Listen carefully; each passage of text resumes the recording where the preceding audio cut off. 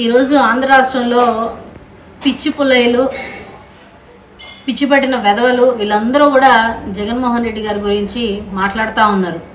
ఇప్పుడు మూడు రాష్ట్ర మూడు రాజధానులు ఏం చేస్తాడు? ఒక రాజధాని చేయలేకపోయాడు మూడు రాజధానులు ఏం చేస్తాడని చెప్పేసి మాట్లాడుతూ ఉన్నారు. అసలు జగన్మోహన్ రెడ్డి గారు మూడు రాజధానుల పద్ధతి పెట్టిందే అన్ని జిల్లాలు అభివృద్ధి చెందాలి.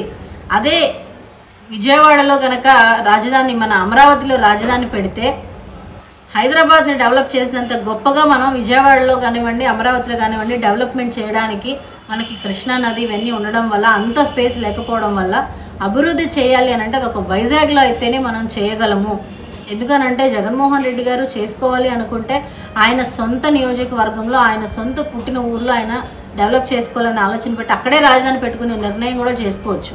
కానీ ఒక వైజాగ్ అయితేనే కరెక్ట్గా ఉంటుంది. అన్ని రకాల వ్యాపార రంగాలకు కానివ్వండి మిగిలిన అన్ని రంగాలకు కానివ్వండి పర్ఫెక్ట్గా ఉండే ప్లేస్ ఏదైనా ఉంది అంటే అది వైజాగే.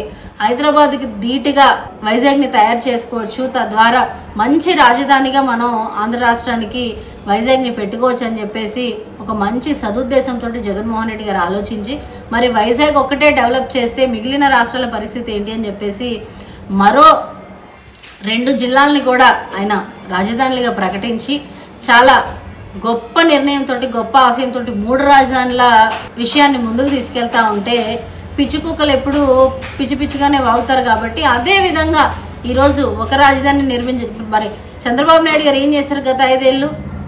భ్రమరావతి అమరావతి అని చెప్పేసి కంప్యూటర్లో బొమ్మలు వేపించి వాటిని చూపించి ప్రజల్ని ఒక భ్రమలో ఉంచి భ్రమరావతిని తయారు చేశాడు.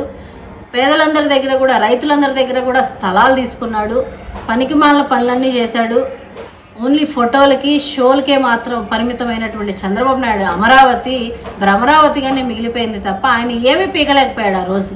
ఈరోజు జగన్మోహన్ రెడ్డి గారు చేసి చూపిస్తూ ఉంటే ఓర్వలేని కళ్ళు చూడలేని కళ్ళు నానా రకాలుగా మాట్లాడుతూ ఉన్నాయి. వీట వీటన్నిటినీ కూడా ప్రజలు ఖండిస్తారు ఖచ్చితంగా. జగన్మోహన్ రెడ్డి గారు తీసుకున్నటువంటి చక్కటి నిర్ణయాన్ని స్వాగతిస్తూ ప్రజలందరూ కూడా జగన్మోహన్ రెడ్డి గారికి పట్టం కడతారని కూడా అందరం కూడా చెప్తా ఉన్నాం.